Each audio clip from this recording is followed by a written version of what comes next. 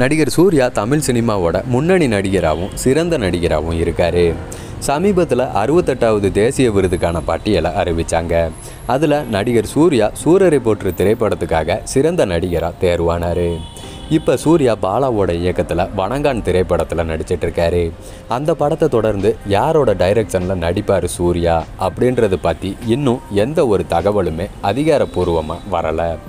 இந்நிலையில் நடிகர் சூர்யா அஞ்சு தியேட்டர்களை லீஸுக்கு எடுக்க இருப்பதாக தகவல்கள் வெளியாகி இருக்கு. ஆனால் இந்த தகவல் எந்த அளவுக்கு உண்மை அப்படின்றது தெரியலை. இதை ஒரு பத்திரிகையாளர் தான் தெரிவிச்சிருக்காருன்ட்டு தகவல்கள் வெளியாகி இருக்கு. ஏற்கனவே தெலுங்கில் இதே போல் முன்னணி நடிகர்களாக இருக்க மகேஷ் பாபு விஜய் தேவரை கொண்டாலாம் திரையரங்குகளை வச்சிருப்பதா சொல்லப்படுது. இப்போ சூர்யாவும் அந்த லிஸ்ட்டில் சேருவாரா அப்படின்றத பொறுத்து இருந்து தான் பார்க்கணும்.